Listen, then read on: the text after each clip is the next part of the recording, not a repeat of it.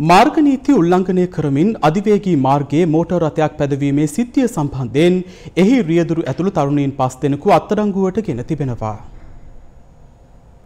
මාර්ගනිත උල්ලංඝනය කරමින් එලෙස මෝටර් රථයක් අධිවේගී මාර්ගයේ ගමන කරුණේ ඉකුත් දහවෙනිදායි. මේ පිළිබඳව සමාජ මාධ්‍ය ඔස්සේ දැඩි කතාබහට ලක් වූ අතර ඊයේ එහි රියදුරු අත්අඩංගුවට ගැනුණු අතර ඔහු ලබන 22 වෙනිදා දක්වා රක්ෂිත බන්ධනාගාරගත කෙරුණා. පොලිස් මාධ්‍ය ප්‍රකාශක නියෝජ්‍ය පොලිස්පති අජිත් රෝහණ මහතා සඳහන් කළේ රියදුරුට අමතරව එහි ගමන්ගත් අනෙක් තරුණයන් හතර දෙනා අද අත්අඩංගුවටගත් බවයි.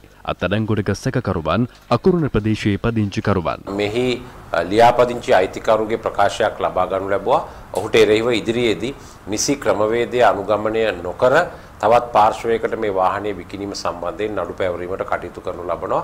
ඒ වගේම මෙම වාහනය ලබා දී තිබෙන්නේ දෙවෙනියට ලබාගත් අයිති පුද්ගලයා විසින්. ඔහු නිසි ක්‍රමවේදයකට අනුව වාහනය මිලදීගෙන නැහැ. ඔහුට එරෙහිවත් ඉදිරියේදී නඩු පැවරීමට කටයුතු කරනවා.